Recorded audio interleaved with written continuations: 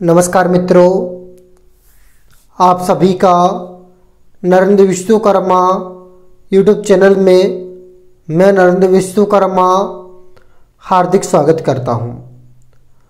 आज हम इस वीडियो में बात करेंगे, क्या वर्तमान सरकार अतिथि शिक्षकों को कभी परमानेंट करेगी या नहीं करेगी आज के इस वीडियो में हम बात करने वाले हैं? क्या वर्तमान है? गवर्नमेंट गेस्ट टीचर या अतिथि शिक्षकों को परमानेंट कभी करेगी या नहीं करेगी? आज हम इस वीडियो में इस टॉपिक पर बात करने वाले हैं।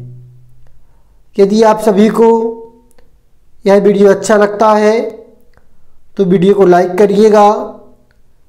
चैनल पर फ़र्स्ट टाइम आए हैं तो चैनल को सब्सक्राइब ज़रूर कर लीजिए। तो बढ़ते हैं आज के अपने इस वीडियो के टॉपिक की ओर। यदि वर्तमान सरकार की स्थितियाँ रुख को देखें तो कहीं भी है उम्मीद नहीं है कि वर्तमान सरकार अतिथि शिक्षकों को परमानेंट करेगी।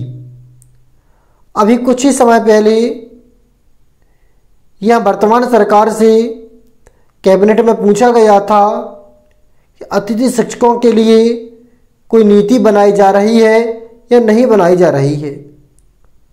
तो वर्तमान सरकार ने निर्देश दिए थे कि अभी भी, अभी किसी भी तरह की कोई भी नीति अतिथि शिक्षकों के लिए नहीं बनाई जा रही है।